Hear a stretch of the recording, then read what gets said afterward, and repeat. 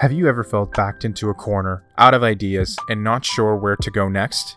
One of the existing benefits of GPT 3 today is that you can partially write some of your text, push a button, and have GPT 3 AI write the rest of it for you. My friend Ollie Green was saying earlier this year that he finds GPT 3 helpful because it helps him avoid writer's block. I agree with this sentiment. Creativity is hard as it is, don't get me wrong, but often it is about just simply fighting to keep the project going. I'll be honest, it's nice having a member on your creative team who's always available and ready to help.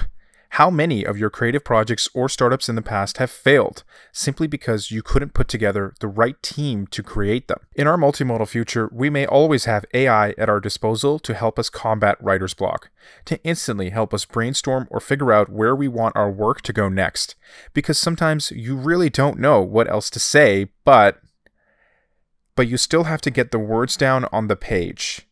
So what's next? GPT 3 is still in its infancy, but its potential for change is enormous. A future where we can use AI to help us think, to help us write, and to help us create is a future worth writing about. But what do you think? What ideas or projects do you have for a world where AI helps us write? Are you excited about the future of AI? Let me know in the comments below.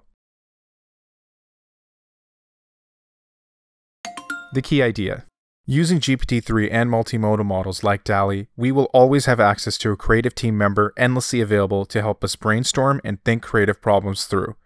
Leverage these tools to keep momentum going in all of your creative endeavors.